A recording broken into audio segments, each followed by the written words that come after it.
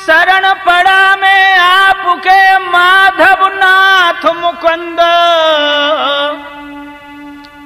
विजय पताखा पूर्ण हो, करिए पूरो छंद।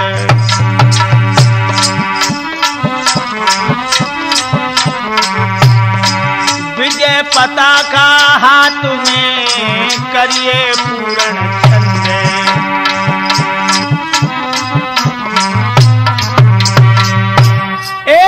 करिए पूरण छंद। कि चंद शरण लई तेरी। और नाथ दशाएँ हो रही जैसे गाय सिंह ने।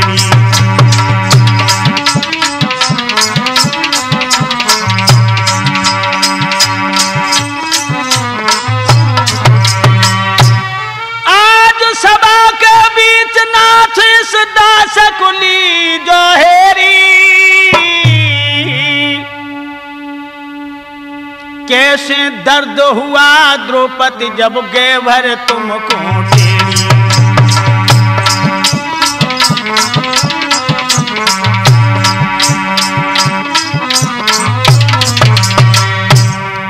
नाथ अब करो नहीं लाहा नाथ अब करो नहीं लाहा। हृदय में यही कशीला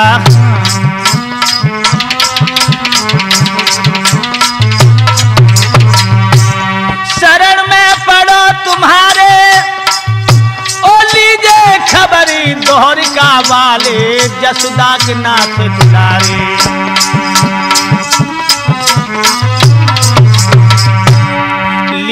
खबर दोहर का वाले यशुदा के नाथ दुलारे।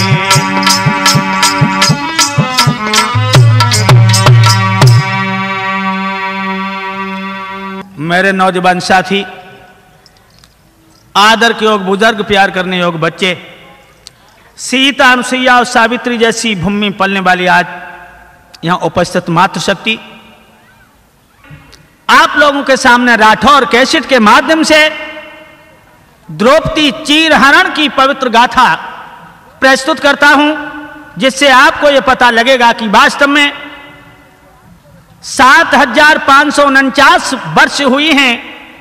इस भारत भूमि पर यह महाभारत कितना उग्र रूप धारण करके हुआ था, जिसमें जाने कितनी लल्लाएँ, कितनी माताएँ, इनकी गोदियाँ सुनी हो गई थी। दोस्तों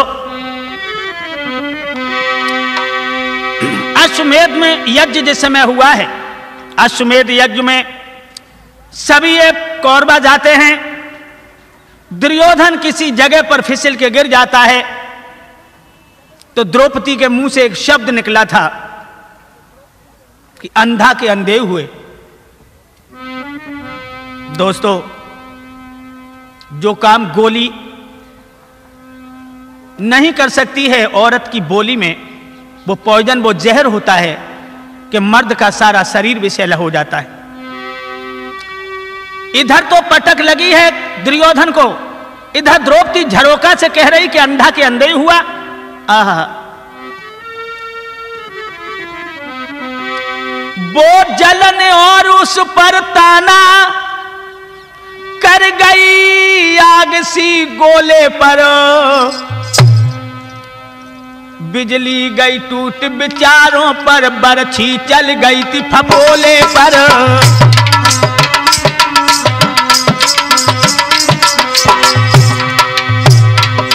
बिजली गिर गई बिचारों पर, कैंची चल गई फपोले पर। बिजली गिर गई बिचारों पर, कैंची चल गई फपोले पर। दोस्तों दुर्योधन की आँखों में लोहू उतर आया और अपनी मुठ्ठियाँ भीज के कहने लगा, पंचाली!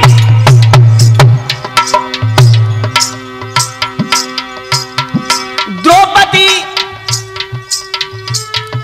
द्रौपदी, होश में तू आ जाए, ऐसा तो समय वो आएगा।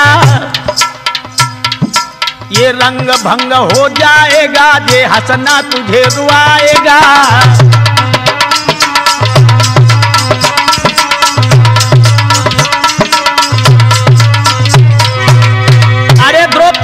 घमंड और गरूर में तूने ये शब्द कहे हैं। और तू हंस रही है जब मैं फिसल के गिर पड़ा। पर कटी अरे खामोश रहे। अब तेरी हँसी मिटाना ही है, या तो पहरा नाम मेरा।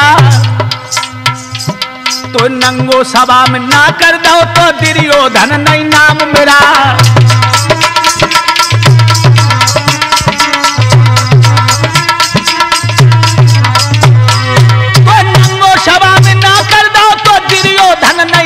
मेरा। तो नंगो सभा में ना कर दो तो दुर्योधन नहीं नाम मेरा मेरे खुले शब्दों में कुरपत कहने लगा और ही कमीनी औरत। मैं फिसल के गिर पड़ा तो तू कह रही कि अंधा के अंधे हुए। किसी दिन इस अंधे के फंद में तू ज़रूर पड़ेगी। तेरी हँसी मिटाना ही मेरा आठों पहर काम है। अगर मैंने भरी सभा में तुझे नंगा न कर दिया तो मैं उस अंधे का बेटा नहीं। दोस्तों, ये मैंने बताया तुम्हें। कुछ विद्वानों ने यह कहा है कि औरत के होठों में अमृत होता है। कुछ विद्वानों ने यह भी कहा है कि औरत की जीव में जहर होता है। आज दुर्योधन घर आता है, लेकिन नींद हराम हो गई। कर्ण के पास जिस समय पहुँचा तो अंगरक्षक कर्ण जो है, कहने लगा कि कहिए राजन एकदम से आँखों में आँसू भर के दुर्योधन कहने लगा, अरे अंगरक्षक करण हमें राजा न कहो। मैं भला राजा कहा हूँ? राजा तो वो धर्मराज है। तो कर्ण कहने लगा, अरे महाराज, अरे जब बड़े बड़े और राग जुड़े तो ढपली का बाजा क्या होगा?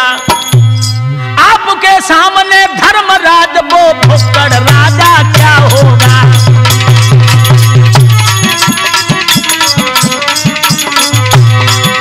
आपके सामने धर्मराज वो भुक्कड़ राजा क्या होगा? आपके सामने धर्मराज है भुक्कड़ राजा क्या होगा?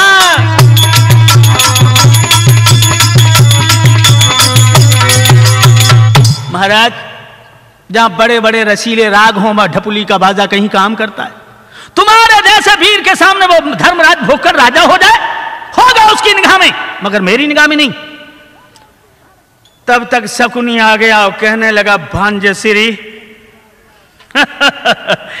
धर्मराज का गीत गा रहे हो। दुर्योधन आँखों में आँसू भर के कहने लगा, मामा श्री मालूम है द्रौपदी ने मेरा कितना अपमान किया है। मामा तुम्हारे पास ही वो मरहम है कि ये घाव भर जाए? शकुनी कहने लगा, चिंता मत करो भांज श्री हमारे हाथ में फांसे नहीं है, सेना है।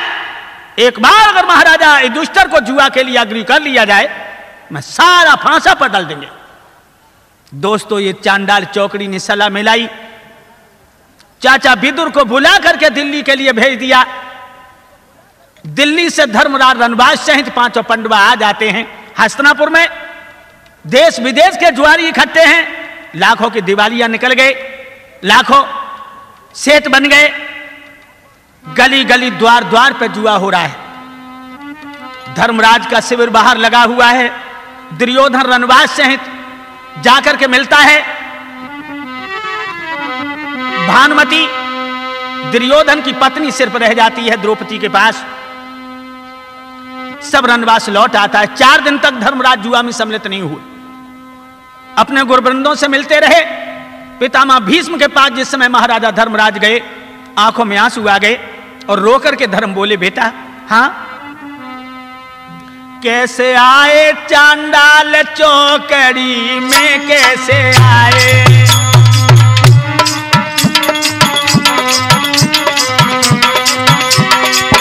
महाराजा भीष्म कह रहे, बेटा, जब चांडाल चौकड़ी में तुम क्यों आ गए?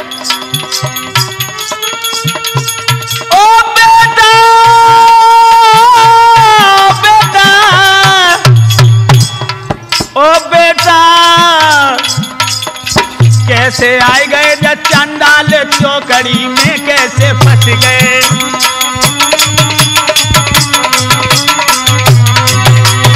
क्या कोई मिलो नहीं कोई बहाना? क्या कोई मिला नहीं तोय बहाना? तोय बहाना। यहाँ कपट के जाल बिछाए हैं, कैसे आए गए? यहाँ कपट के जाल बिछाए हैं, कैसे आए गए? कैसे आए गए चंडाल चौकड़ी में? कैसे आए गए?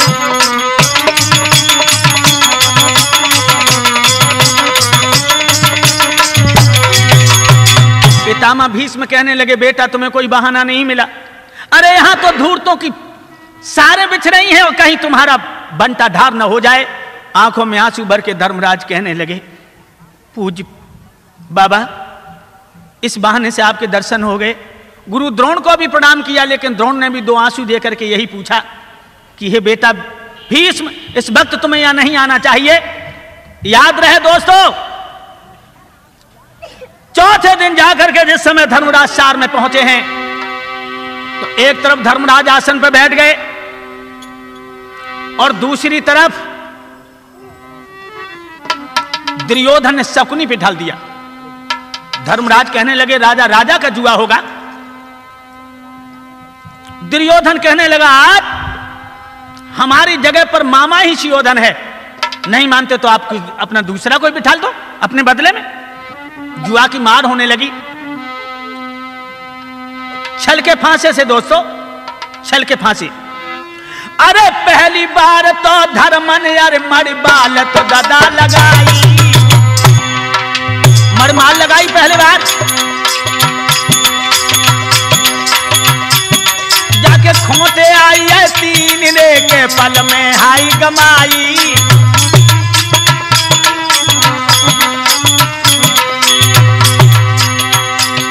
महाराज, जिस समय मरमाल लगाई है, लगाने की देर थी, जाने में देर नहीं।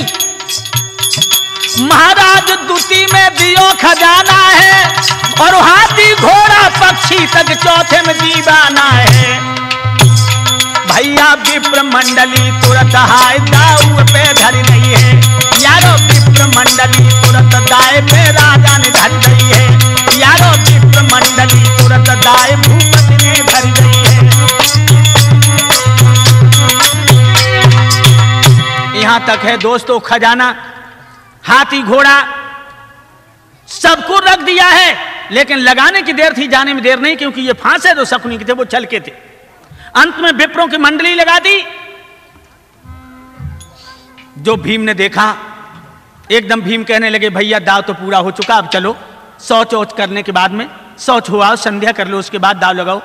धर्मराज उठने को हुए, सोई चांदार चौकड़ी ने तालियाँ बजा करके कहा कि क्या शेर दुम को दुका के भाग रहा है?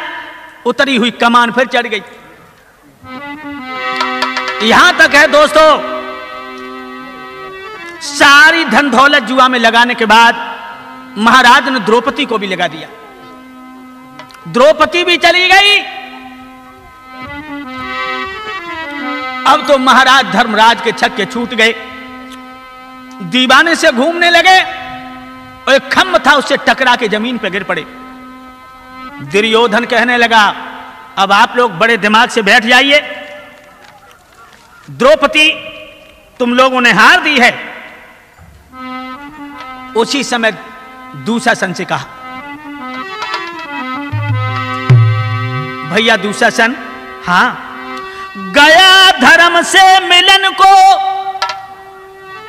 एक रोज में बंधु। पंचालिनी हमसे कही भय अंध के अंध। एक दिन जब मैं अश्वमेध यज्ञ में गया था तो द्रौपदी ने हमसे यह कहा था, अंधा के अंधे हुए। पल पल होती अबेर करो मत देर महल को जइयो। और केस पकड़ के खेत की द्रौपदी को भैया शसन भैया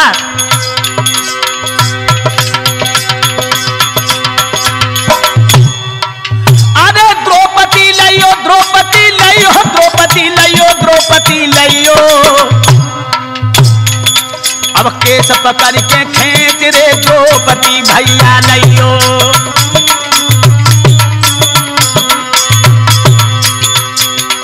और क्या कहा? ए सारी ले उतार, नगिन करनार, हमें दिखलाइयो हमें दिखलाइयो अज पंड सुवन को मान गुमान घटइयो अज पंड सुवन को मान गुमान घटइयो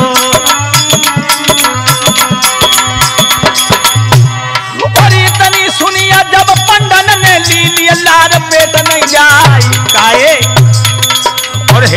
भरिय तीर भीमा की नैनन रही लाल छाई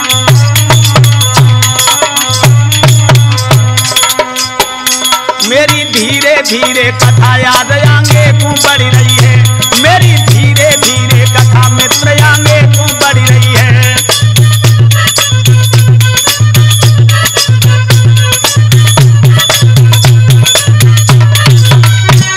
आगे को बढ़ रही है रे मित्र आगे को बढ़ रही है रे ददा आगे को बढ़ रही है।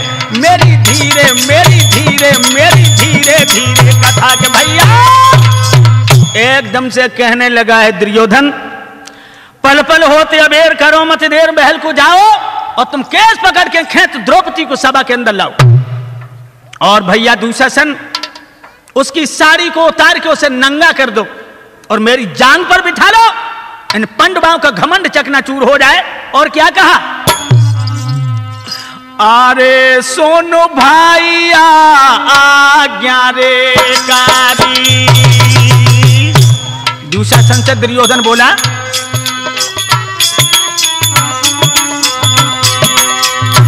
अरे सुनो भैया मेरे आज्ञा रे कारी और तू तू सासाने वाले धारी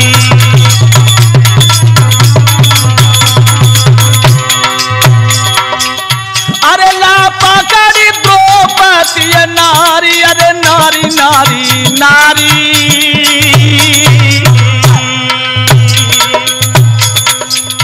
और बाजू में जीत लई है सारी।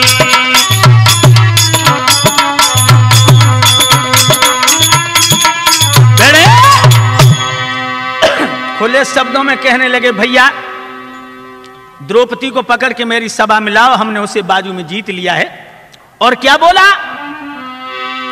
तुम दुशासन अब जाइयो रे, मत दे रहू बेर न लगाइयो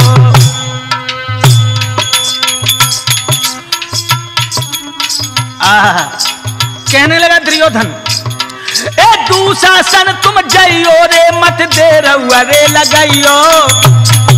महलन से जबरन खेत के द्रौपदी भैया लइयो।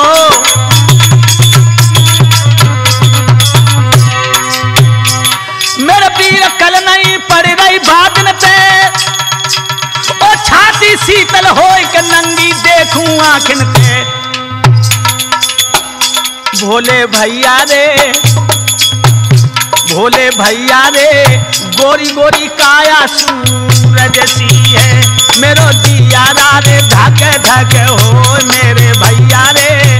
सुंदर नार सी है मेरो दिया रे, धक धक हो भोले भैया री सुंदर नार गो तो खुले शब्दों में कहने लगा ज़बरदस्ती पकड़ के ले आओ भैया।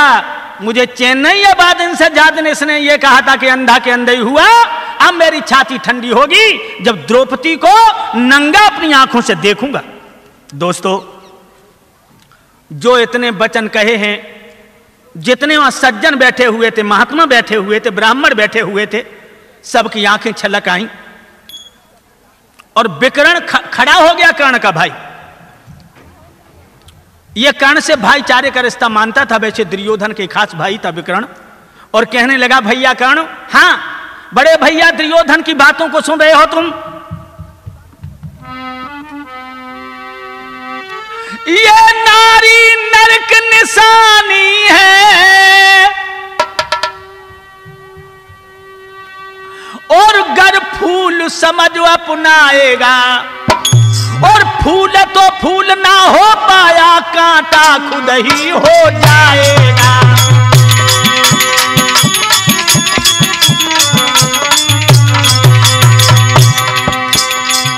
हाथ में फूल की जगह पर कांटा हो जाएगा, कर्ण। इस दुर्योधन को रोक लो। अरे चाचा विदुर कै ठाड़े हुई है। आँख बह रही थी नीर की धार। अरे हिलकी भर के बोलन लागे गाय तू बंसु तू दिए बिगारी।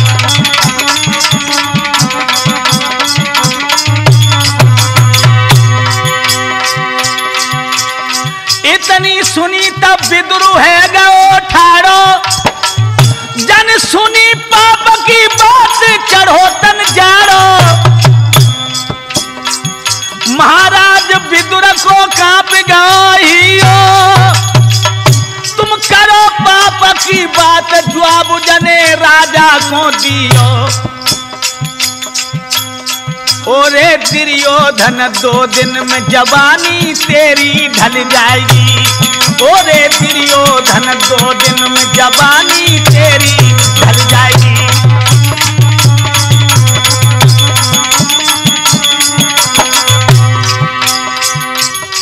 तेरी ढल जाएगी, तेरी ढल जाएगी, जवानी तेरी तेरी ढल जाएगी। ओरे दिरियो धन दो दिन में जवानी तेरी ढल जाएगी। तेरी। जवाब दिया। विकरण की बात को जो सुना है तो चाचा विदुर कहने लगे, अरे दुर्योधन, ये पाप की बातें तुम क्यों कर रहे हो? ये जवानी के नशा में तू नहीं सोचता, लेकिन एक औरत की यह बड़ी विलक्षण होती है। तू इस शांतुन कुल के परिवार में क्या कलंक पैदा हुआ है?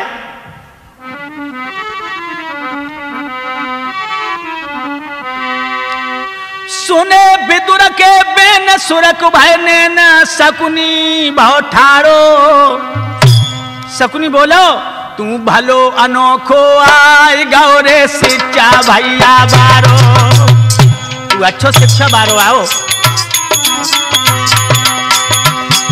और कहने लगे, सपनी बोला, अरे बाद न तू का जाओ तो द्रौपदी ने दो तो जवाब करारो जवाब करारो जन कहिए अंध के अंध गजब करिदारो, जन कहिए अंध के अंध गजब करिदारो। शकुनी कहने लगा कि बाद तू का गयो, द्रौपदी ने दियो के जवाब करारो जन कहीं अंध के अंध गजब कर डालो। अरे नालायक, अरे उठ जाओ ही अनते भाई।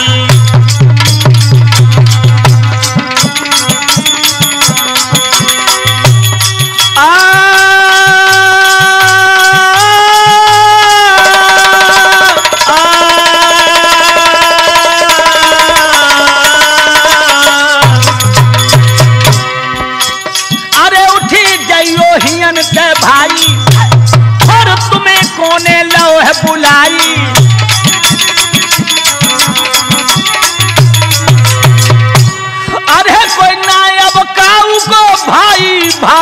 गजब बो भाई अरे हाय पर दूध में खटाई।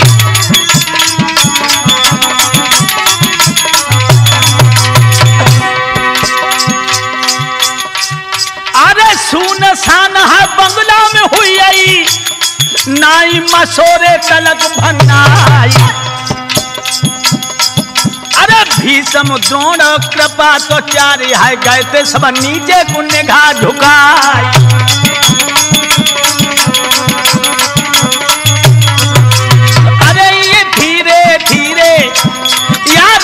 धीरे धीरे दुर्योधन कमल के बेटे, यार मेरे धीरे धीरे बोलो, ऐसे बहन सभा में धीरे धीरे हाँ।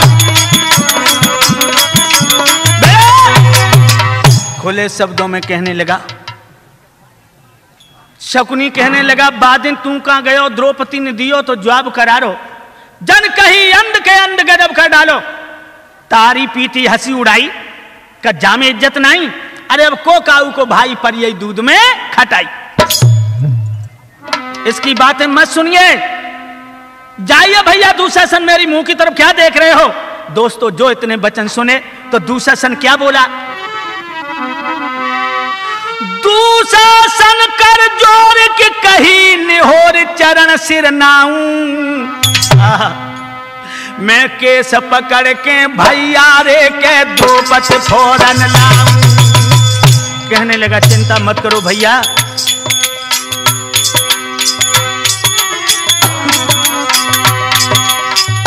अरे द्रौपदी लाऊं द्रौपदी लाऊं द्रौपदी लाऊं मैं केस पकड़ के भैया रे के द्रौपदी फोरन लाऊं। और क्या कहा? ए, मैं सभी कले से पकड़ के केस नगिन दिखलावी। हाय, मैं तू सकल कले से पकड़ के केसन बिलम लगाऊँ। मैं आज सभा के बीच नग्न दिखलाऊं। भैया, चिंता न करो। अभी जाता हूँ, द्रौपदी को केस पकड़ के घसीट के लाता हूँ। और भरी सभा मुझे नंगा करके दिखाऊँगा। जो इतने वचन सुने हैं दोस्तों दुर्योधन खुशी मनायो है, भारी के कंठ पटायो है।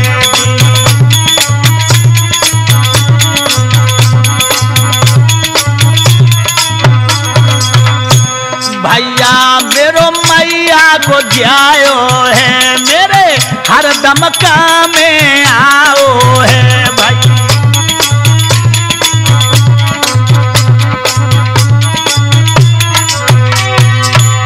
याद रहे दोस्तों, दूसरा सन कहने लगा, भैया, चिंता न करो, मैं अभी जाता हूँ। और द्रौपदी को पकड़ के भरी सभा में लाता हूँ, नगिन करके तुम्हें दिखाऊँगा दोस्तों, सोई दुर्योधन ने अपने भैया दूसरा सन को छाती से लगा लिया और क्या बोला? ए भीमसेन, है भारी बालकारी को पे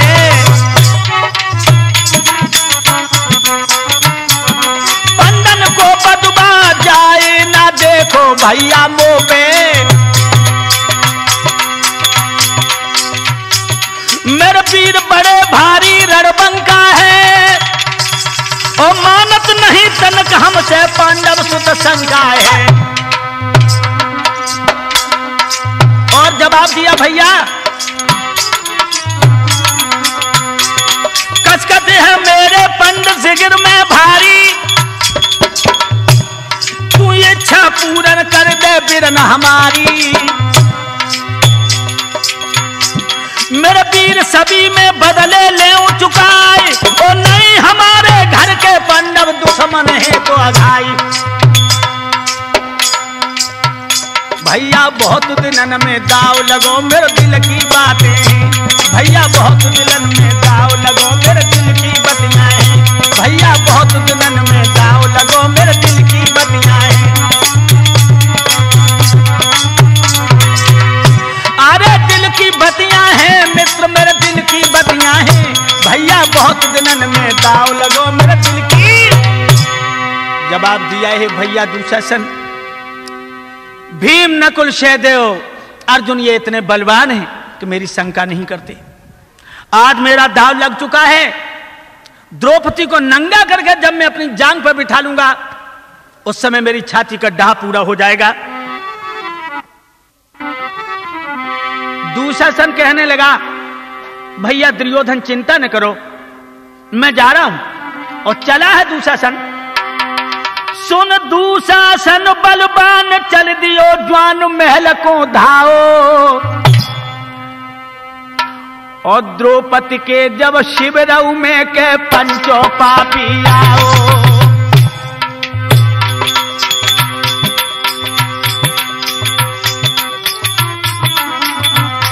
जहाँ पर द्रौपदी और पंडवाओं का शिविर लगा हुआ है दूसरा सन आया, जब द्रौपदी ने देखा तो दुर्योधन की पत्नी भानुमती उस शिविर में रुकी हुई थी। भानुमती आगे बढ़ के कहने लगी, देवर जी, तुम कैसे? दूषासन कहने लगा, भाभी, तुम हट जाओ।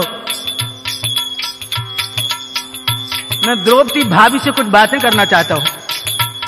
भानुमति कहने लगी, लेकिन दूसरा सन कहने लगा, भाभी, भैया का संदेश सुनाना है, तुम अलग हटो। भानुमति एक तरफ़ हो गई। द्रौपदी को देख करके दूसरा सन बोला, लेकिन दोस्तों, दूसरा सन की आँखों को देख करके द्रौपदी समझ गई कि दाल में काला है। अरे द्रौपद से कई बात, चलो मेरे साथ बचन फरमाओ बचन फरमाओ। कोई दुर्योधन महाराज तुम्हें बुलवाओ, कोई दुर्योधन महाराज तुम्हें बुलवाओ।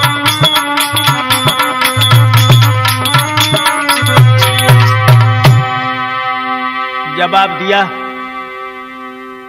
भाभी द्रौपदी द्रौपदी बोली, हाँ, बोलो।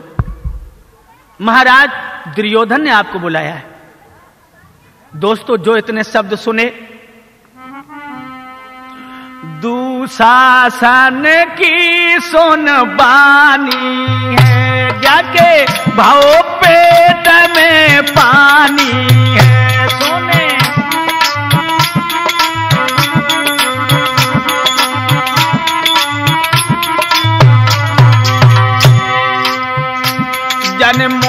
हृदय में जानी है विध नहाय कैसी खानी है जन।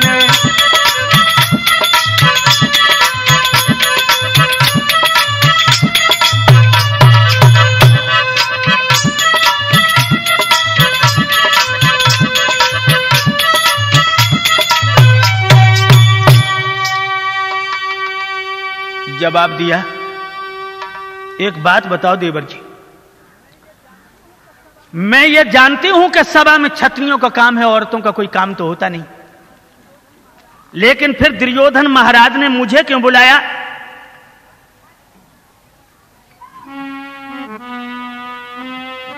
आह। और एक बात और भी बता दूँ, अगर आपको बुरी न लगे। क्या? जा बैठे भी समो करण रे के सुन ले देवर हमारे।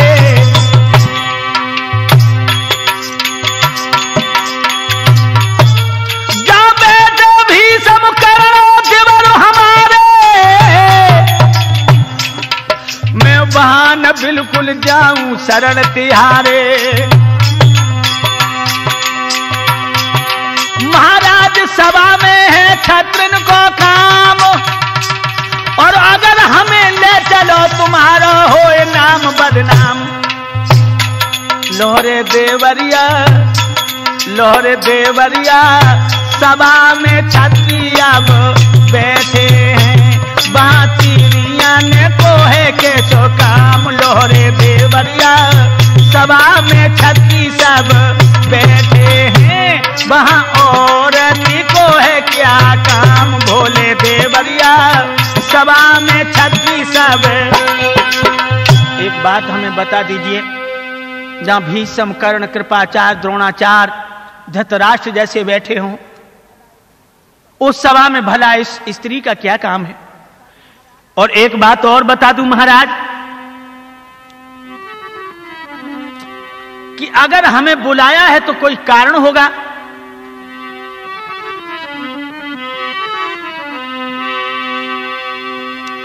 अरे सिर धुन द्रौपद कहे द्रगन जल बहे बचन फरमाई। संग जाऊँ सभा के बीच रे के लाज तो मोको आई बहुत लाज लगेगी मुझे, देवर जी।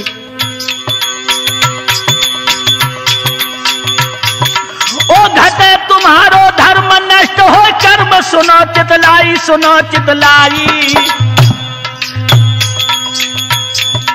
देवर बल तेज प्रताप रे के जय सबई नसाई।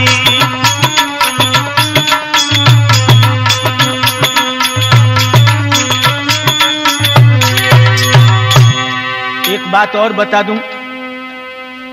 सही बात तो है कि मुझे इतनी शर्म लग रही है कि मैं उस सभा में जाकर के कैसे मुँह दिखाऊँगी और आपका बल और तेज जो भी वैभव है सब नष्ट हो जाएगा।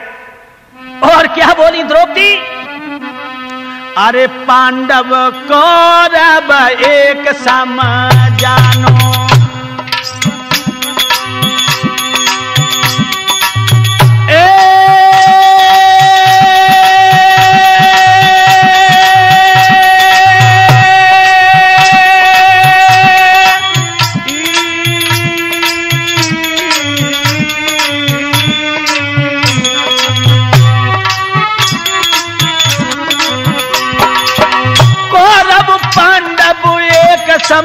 जानो और मोहतासी अपनी मानो।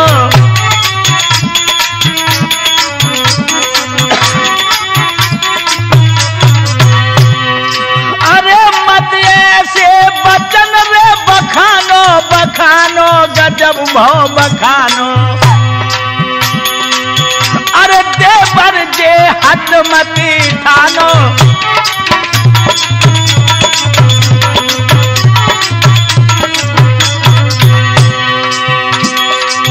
और रो करके बोली, आज भानुमति दुर्योधन की पत्नी की तरफ़ देख करके द्रौपदी बोली, दीदी रोको जे देवर, आगे हैं दीदी रोको। दीदी रोको जे देवर जी न मानत है दीदी रोको।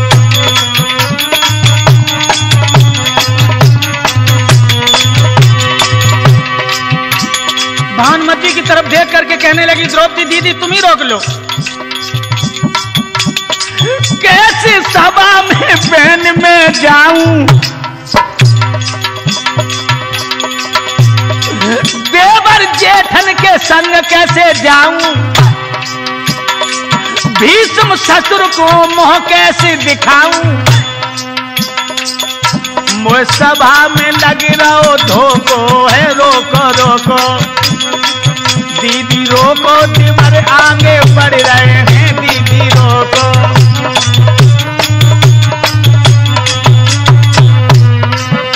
और कहने लगी, सब बैठे देवर जेठ सभा में मेरे। दुशासन कैसे संग चलू मैं तेरे? मेरे देवर न पकड़ो हाथ धर्म हो छीन। और कान खोल के सुनो के दिवरा में हूँ बसन मलिन। रो करके द्रौपदी बोली, देवर जी, महीना में चार पाँच दिन औरत के लिए बहुत बुरे होते हैं। जिसमें औरत को छूना भी पाप, उसकी छाया भी नहीं पड़नी चाहिए। और वही हालत मेरी है इस समय मुझे माफ़ कर दो। अरे जा रजुशुला पे मेरी दिवर आँगन में कर दीजो हाँ जा रजुशुला पे कृपा के दिवर आँगन में कर दीजो हाँ जा रजुशुला पे कृपा के दिवर आँगन में कर दीजो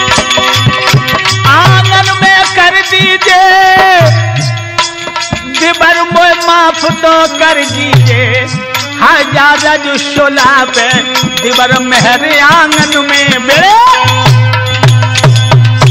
आज आँखों में आँसू भर के कहने लगी देवर जी, इस रजशुला पे थोड़ी कृपा कीजिए। सभा में जाना छत्रियों का काम है, औरतों का काम नहीं है। दोस्तों, जो इतने वचन सुने, एकदम से दूसरा सन की आँखों में लोहू आ गया। और कहने लगा और पगली ये त्रिया चरित्र हमें दिखा रही है।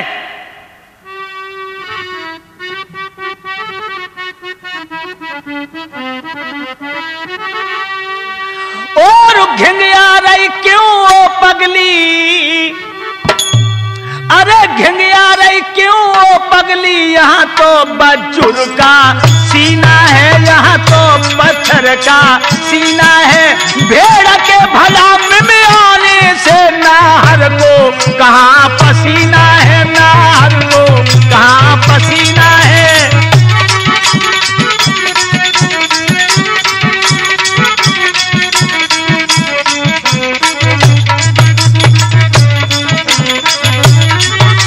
क्यों घिंगिया रही है वो पगली दूसरा सन बोला,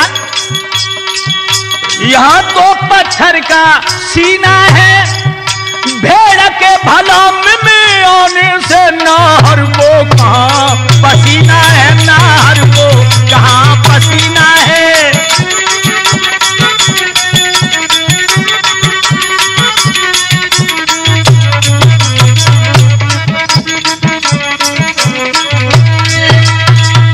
और बेवकूफ़ औरत, क्या भेड़ के मिमियाने से नाहर को पसीना आ जाएगा? जो तू इस तरह से मेमियाओ घिंगिया रही है मेरे सामने, एकदम से आँखों में आँसू भर के कहने लगी द्रौपदी, देवर जी, हमें एक बात बता दो, कौन सी?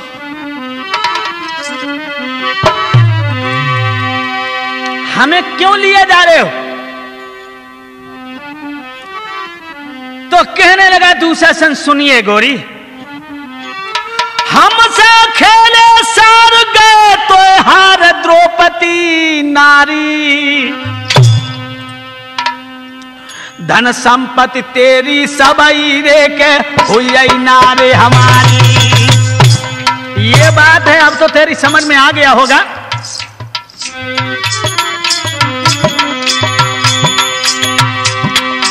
अरे के भाई हमारी भाई हमारी भाई हमारी भाई हमारी। धन संपत्ति जो कछु हतीरे सब हुई नारे हमारी। ओ, हमने जीतो तो पढ़ावे मोई तू द्रोप दुलारी द्रोप दुलारी तेरे सैया बिल्कुल हुई है गोरी, दीनऊ अरे भिकारी तेरे बालम बिल्कुल हुई है गोरी, दीनऊ अरे भिकारी एकदम से कहने लगा, दूसरा और पगली। तेरे पाँचों पति भिकारी हो चुके हैं, सारी संपत्ति मेरा अधिपत्य हो चुका है, और तेरे पति ने तुझे जुआ में हरा दिया। आहा, जो इतने वचन सुनो दूसरा सन बोला, जवाब दिया, सुन। तूने दुर्योधन की हँसी रे के एक दिन हाय कीनी शायद तू भ्रम में हो, तुझे कोई शक हो तो तेरी शक मिटा दो, दूसरा सन बोला तुन दुर्योधन की हँसी एक दिन कीनी, ताके बदले में कोई दक्षिणा दीनी। महाराज कही, तूने हते अंध के अंधु सम्मालिम पर जाई पर यदुअंदन के फंद।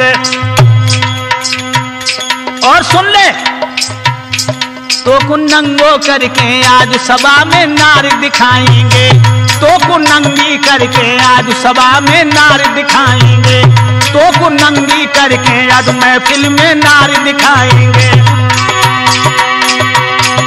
अरे नार दिखाएँगे ठरगति तुझे दिखाएँगे, सभा में आज दिखाएँगे।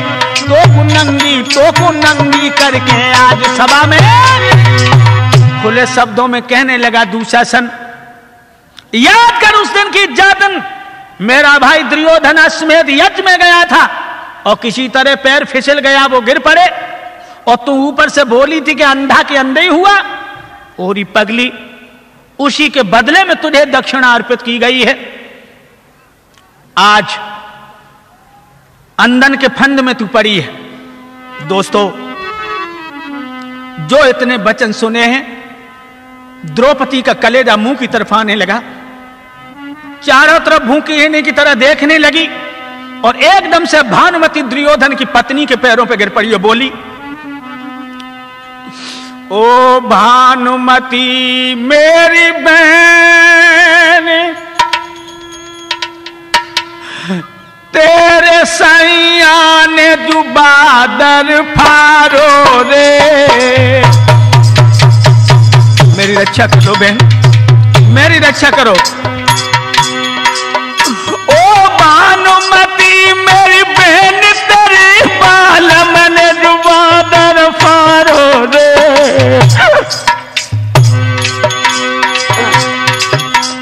अरु सभा में नंगी हो देवरानी गजब करो अति भारो दे।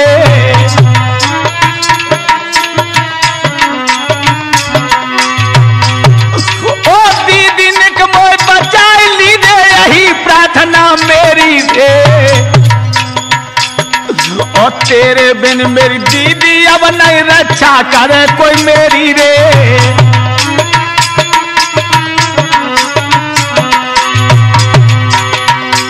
मुझे बचा लो बहन। मुझे बचा लो देवर जी को रोक लो। एकदम से दूसरा सन कहने लगा, भाभी दोस्तों, द्रौपदी भानुमति के पैर पकड़े थी। ओ, दूसरा सन आगे बढ़ जाओ, जन पकड़ नारे झक झोरी रे। और छोड़ पैर ओरी पगली, अब बन जा सबकी गोरी रे।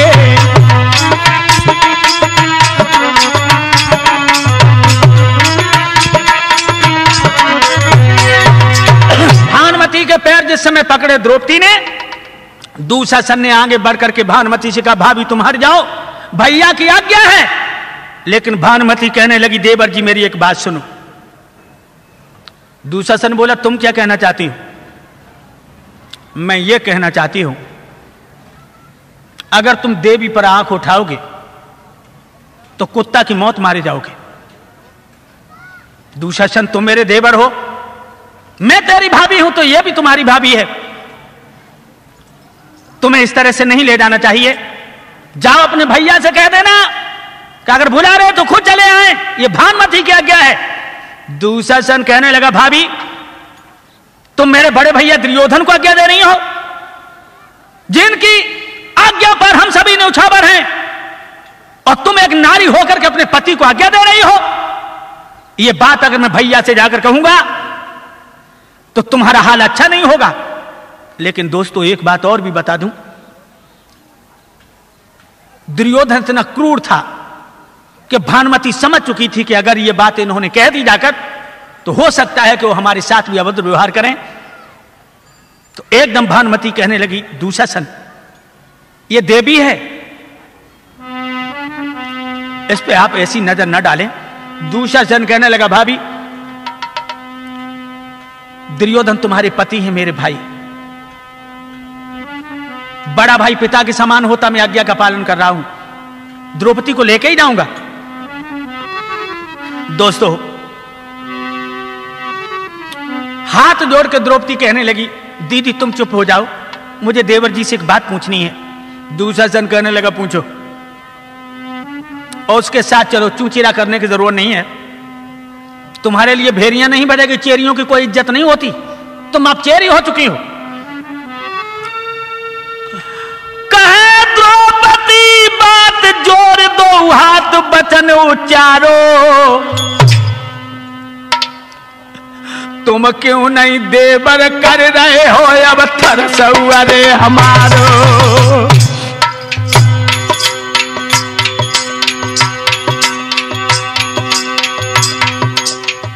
थोड़ा तर्स करो देवर जी। अरे का तरस हमारो तरस हमारो तरस हमारो तरस हमारो। क्यों नहीं तो देवर कर रहे हो तुम तरस अरे हमारो। ले चलो मोई दरबार, सभी सरदार, जुड़ो दल भारो, जुड़ो दल भारो। जा बैठे भीषम ससुरौरे के कारण है गेट हमारो।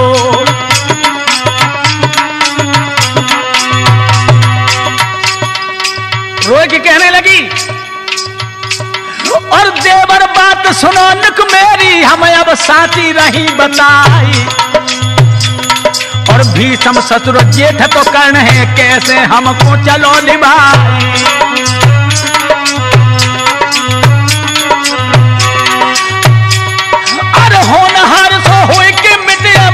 सुन लो अरज हमारी कही ओ हिलकी भरी द्रौपद की बाजा पे काँप गए थे आधार।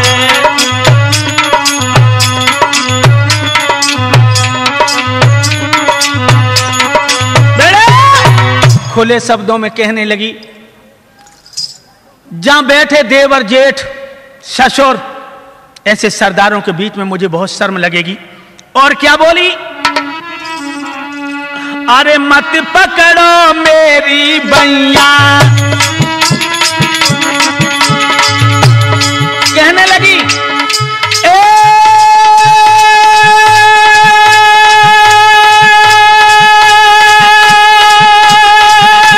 अरे मत पकड़ो मेरी बैया बैया गजब भो बैया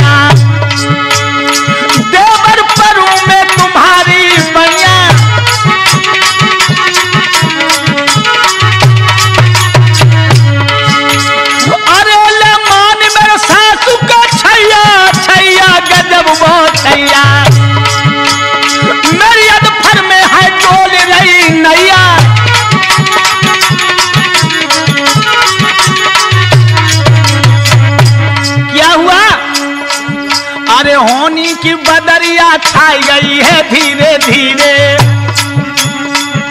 अरे होनी की बदरिया छाई गई है धीरे धीरे। राम शरण की छाती थर्राई गई है धीरे धीरे।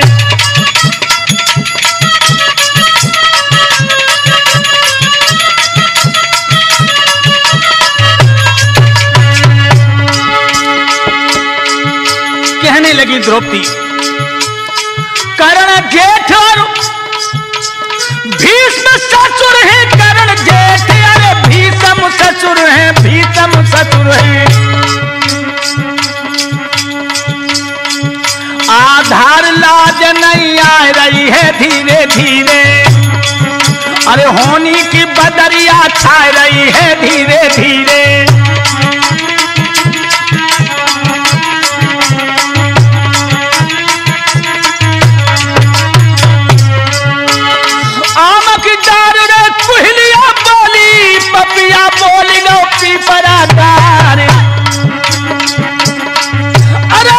द्रौपदी रोई है जब तो पापी के बाजा पे काँप गए थे आधार।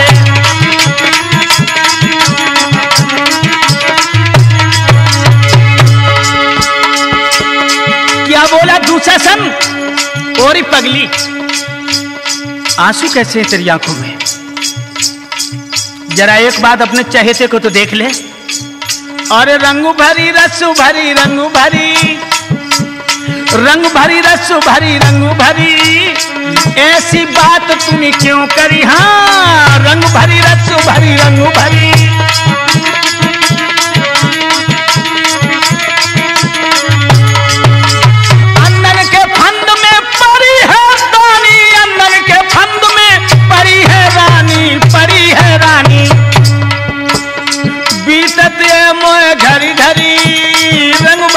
रसु भरी रंग भरी हाँ। रंग भरी रसु भरी रंग भरी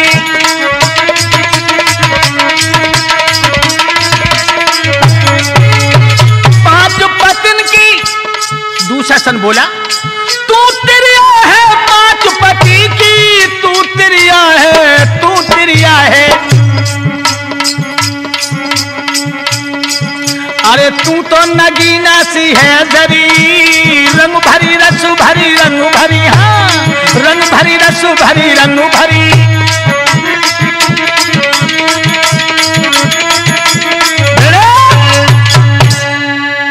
अरे पगली, तुझे तो चलना ही पड़ेगा।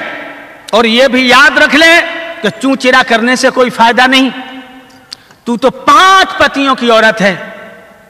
और आज तेरे पति तुझे जुआ में हार चुके हैं। और अगर जो कहना है तो अपने चहेते से कहना। हमसे कहने की तुझे क्या ज़रूरत है?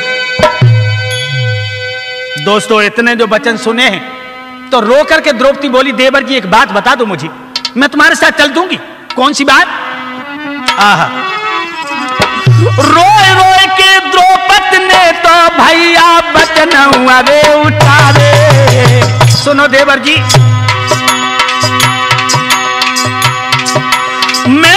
दासी देवर पैया अब तो पड़ रही है तुम्हारे।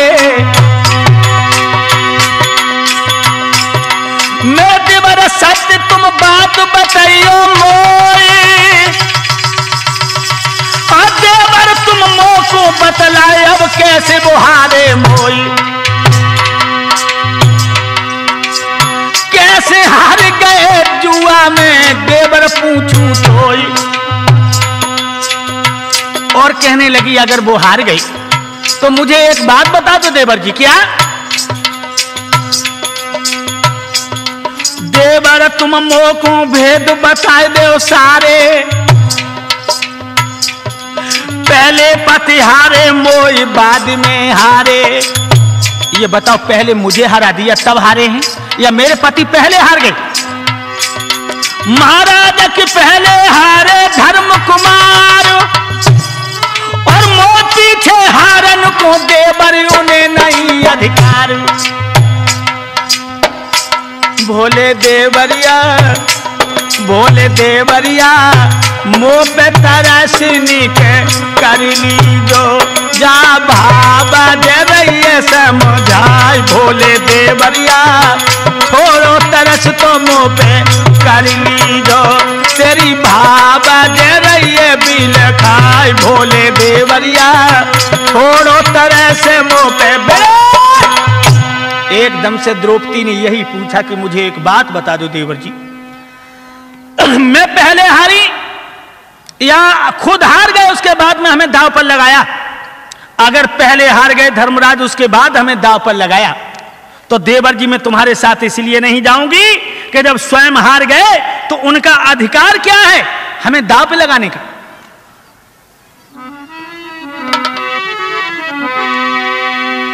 दूसरा सन कहने लगा और पतिव्रता हमारी बात सुन। क्यों रही बात बनाए? तू हमें पढ़ाए क्यों नीति रही है? मैंने राज़ी ते नकती तो ते कितनी देर से कहिए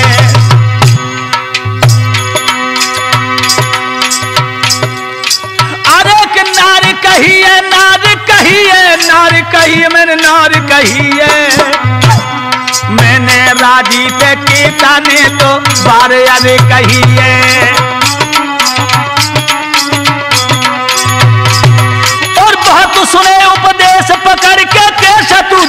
जाए रही है जाए रही है तू मोते तिरिया चर तो रचाए रही है तू मो से तिरिया चर तो, तो रचाए रही है और मैं बताऊँ पतिदास भाई अब मेरे हैं। नहीं संग चलाते तू मेरे हैं पति।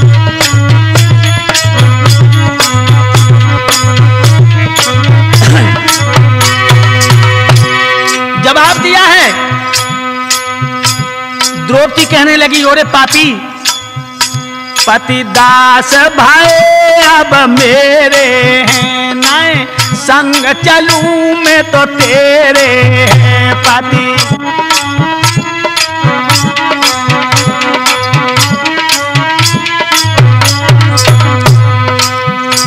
क्यों दे तुम महल में डेरे हैं दू शासन भाग सपेरे, क्यों?